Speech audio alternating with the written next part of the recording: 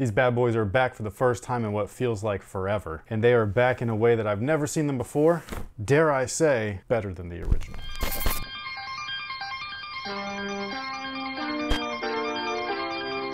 Hey, what's good guys? My name's Chris. Welcome back to the official WearTesters.com YouTube channel. Today we got a detailed look and breakdown on these bad boys right here. This was originally known as the Adidas KB8, Kobe Bryant's first signature shoe ever, but nowadays they're just known as the Adidas Crazy 8, and to be perfectly fair, that name sucks.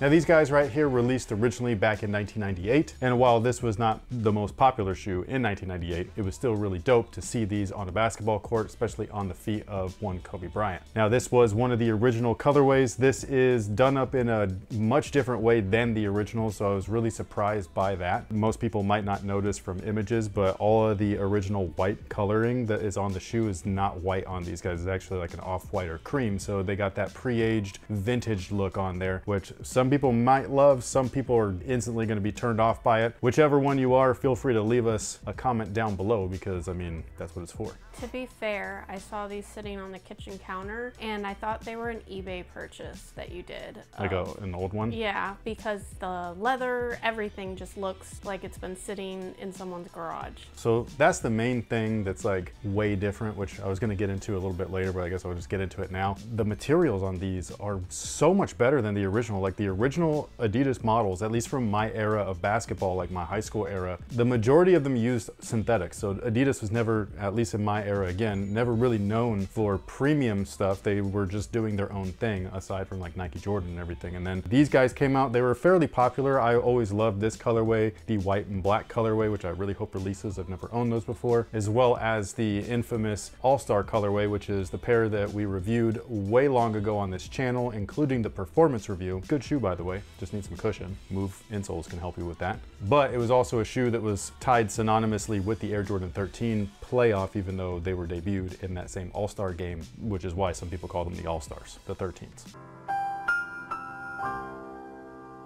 But anyways, the materials here are just so much nicer than the original. We have actual nubuck and actual suede. So I know that some complaints that I've read online in like various comment sections on Instagram and stuff have been like, oh, why they look all dingy, which is to your point, like they do look faded. They don't look as rich and as black as the originals. And does that bother me? Not really. I mean, it was a little bit weird when I first pulled them out of the box. I was like, whoa, that is not what I was expecting, but it's so nice that I don't mind it. Like this, I feel like I got way more than my money's worth. What I was originally buying was nostalgia, but what I ended up getting was nostalgia and premium materials, which I was like super happy about. So for that, I love it. You know what I mean? Like that's why I mean, like, dare I say better than the originals. Is it actually better than the original version? I mean, I don't know. If we're just comparing apples to apples, then obviously yes, because this is premium in comparison. Is it actually better than the original? And that's where I'm like, I will not say that. You know what I mean? Like these fit different and all that stuff. So not quite the same shoe, even though they look like it. However, the performance features start at the outsole and these guys feature herringbone. This is one of the things that I remember like not being great. So this is an area where it could have been upgraded. Obviously, they're just making a retro, not like a Protro or a Resto mod over at Adidas. So they weren't doing that. I do wish that they did, but it'd be interesting to know if they end up doing it eventually. However, the herringbone right here, I just remember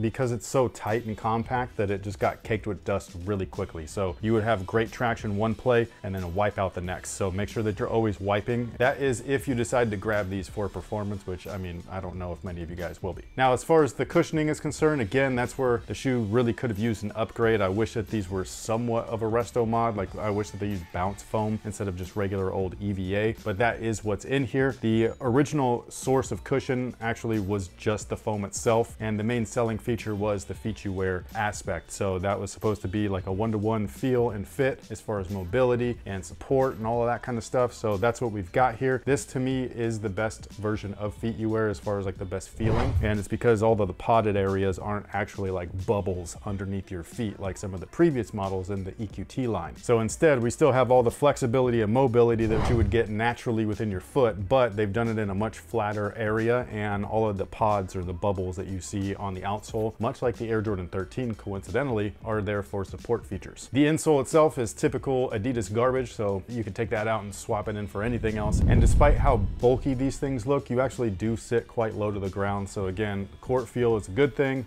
for some. And if that's what you're looking for, then these guys offer it. Again, like I was saying before, the materials are just bar none better than the originals. They actually launched in three colorways, or they haven't launched yet. But if you go to the Adidas basketball Instagram account, they actually announced that these guys were releasing on the 15th. And then there were two other colorways. One is kind of like a, a grayish silver look, which looks amazing, even though it's not an original colorway. And then we have this other colorway that's like bright orange with a light blue, also looks amazing. So, so far out of the full three pair package or whatever, this is the only original style colorway. So again, I really hope that we get that original white and black colorway and the All-Star colorway, because I missed those. I really wish I didn't get rid of those. Now, they are a little bit different from the originals with certain design elements. The most jarring, the most notable for me, I really wish that they did not do this, is actually right here at the base of the lace, there's the feet you wear guy. He was never there in the first place. It was always Kobe's number eight logo. I guess that's the nostalgic side of me where I'm like, why the did you do that? That's why they called them the crazy eight still, and they left the eight on all the previous retros because they're like, well, we can at least keep them the same and just call them something different. But now they call them the crazy eights, they remove the eight, and it's like, why the is that? Like, what the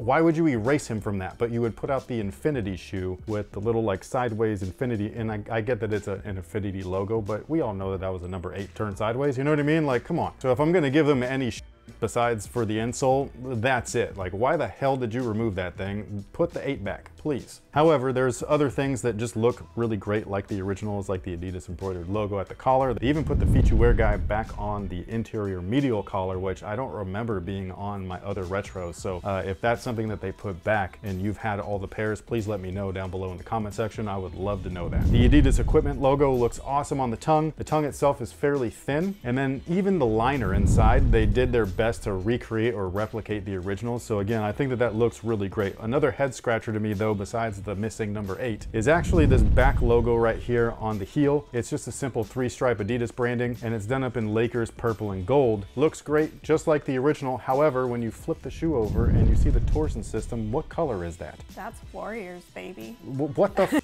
is that? Like, I don't remember the original looking like that either. So if I'm misremembering, please correct me down below in the comment section. But I swear that was purple and gold too. So like, I don't know if I'm just tripping or what, but I had pulled these things out of the box and I flipped them over instantly. And I was like, what the hell is that? And yes, I'm a Warriors fan because I'm from the Bay Area, but still, I, I want to see Kobe's stuff on here, you know? Like it was his shoe. Now, as far as fit is concerned, this is where Adidas is really kind of being, uh, I want to call it weird, but just it's not normal, at least for Adidas. Most of us have been used to going down half a size in the majority of their stuff. And then in recent years have been a little inconsistent. Some things are true to size, some things are not. These guys and those Infinity shoes are the same thing where it's like, bro, they don't fit true to size. They actually fit small. I don't know why. Like these are a nine and a half. My toes still are at the edge and hurt. And I'm like, I never go, like never, except for the The runner, not the B-ball one. But like, that's like the only shoe ever that I think I've ever gone up a full size with. And so what is happening over there? Like what, what happened and what changed? Because that is not normal. So yeah, if you're gonna buy these, what I would recommend is trying them on first off because the sizing might be a big hit or miss. However, if you're unable to find them in store to try on, your best bet is probably going up half a size initially and hoping and praying to the sneaker gods that they actually fit you properly. Please! Because one of the things that I also feel like was a kind of like a missed opportunity is just the overall fit. Like I'm talking about the upper around your foot. When I put them on, I like to wear my shoes a little loose until I go to tie them up to play. And they are hella loose. Like lengthwise, they're tight, but around my foot wise, I feel like my foot is too thin for them. Like it's very weird. I feel like I'm swimming in them. Kind of like I feel like I'm swimming right now. My face is just dripping with sweat. This is insane. Where's the fucking Delta Breeze? It shows up in the evening. no, it doesn't. It's Yes, it still does. it's still 90 degrees out there at night, man. Like this is this is crazy. This is like Vegas weather. I'm, I'm melting. Some people are worth melting for. But anyways, that's pretty much it for these guys right here. Again, this is the Adidas Crazy 8, originally known as the Adidas KB8. Kobe Bryant's first signature sneaker ever. And I know that some people count the EQT line as some of his first stuff. Those were just more endorsement stuff. So like they paid him to wear those. They didn't have a shoe ready yet, but he was getting a signature shoe and that's what the KB series is. That then later on changed to the Kobe series, which was the Audi looking stuff, the really out there. And we did briefly go over all of that history in the Adidas Crazy Infinity review. Plus we have reviewed every single shoe within the line at this point. So if you have not checked it out, Do it. but anyway, sound off below. We would love to hear from you guys. Thank you so much for watching. Thanks for all the support. We will catch you guys on the next one. So until then, have a good one.